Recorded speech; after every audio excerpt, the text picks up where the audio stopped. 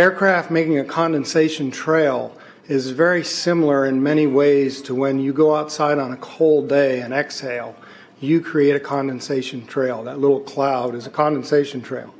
Now, if you take a two mile walk on a cold day and you can turn around and you can see your condensation trail tracking all the way back for two miles.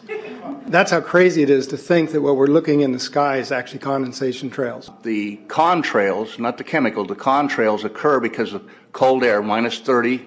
It takes a high altitude, around 30,000 feet plus.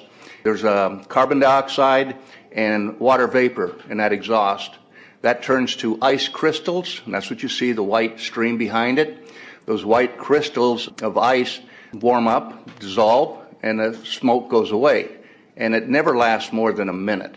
What we're seeing now, and I first could not believe it, and I started looking at the skies, and these are not normal. They're not natural.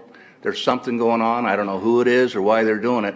All I can testify is it's not natural and it's not normal. It's got to be some outside influence doing that. Thank you. I'm here to give you testimony that chemtrails, they're not contrails, are indeed real. They're spraying almost every day. I watch the clouds and watch the spraying program going on. I want to tell you that we're in very great danger uh, from the pollution that's coming down over us. And we've been led astray by the military industrial complex and they're responsible for the cloud's creation and weather manipulation programs. They're dark operations. That's why they're not out in the media. I look around and I see people are starting to look up and see this.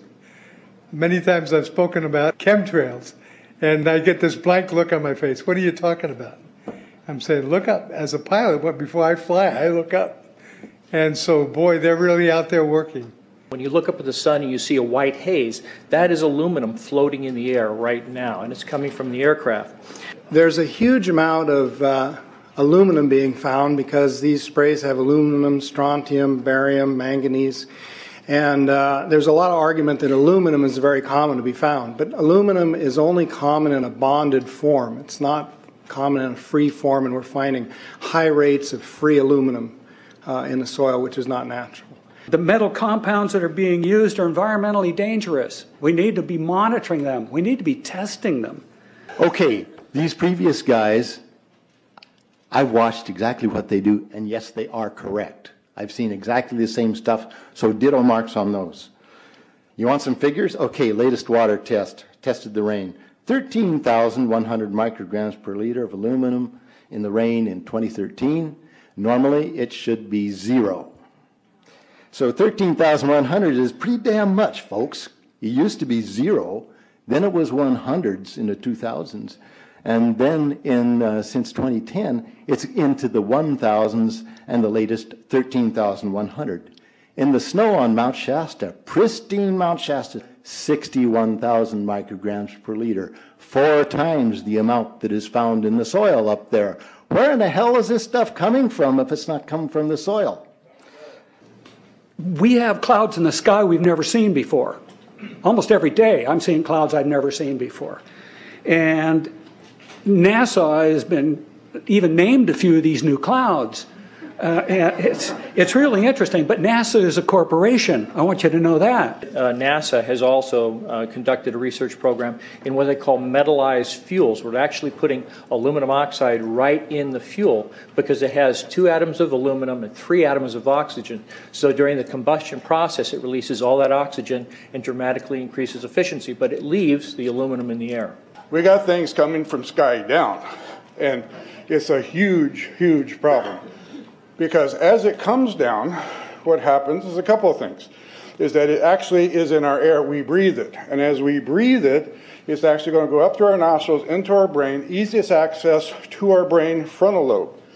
The contaminants that are in that have been identified, which already been mentioned, are aluminum. Aluminum is the number one neuro uh, free radical generator to the brain to cause early apoptosis, which is early death of brain, and it begins to set off the scar tissue, which we call the amygdalin, which is, a pot, which is part of the um, chemical matrix related to Alzheimer's. I'm a neurologist practicing in Reading for 17 years. And in the past five years, I have seen the number of patients with Alzheimer's disease, Parkinson's, and other neurodegenerative diseases tremendously increased, almost quadruple. Uh, I became interested in chemtrails about eight years ago when I was in Hawaii, and the Hawaiians are really being very vocal about it.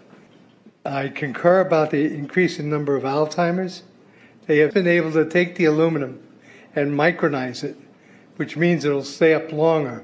But it also means, and I don't know if any of you have noticed some metallic taste in your mouth when they're spraying, but you inhale that, it goes up through your cribriform plate and into your through your sinuses and into the brain. As you heard, to spray nanoparticles, very small particles. These nanoparticles, they basically trigger a programmed cell death in the brain, and that is the ultimate path we see in Alzheimer's. That's problem number one, because when we look at the Alzheimer issue, we say those are the old.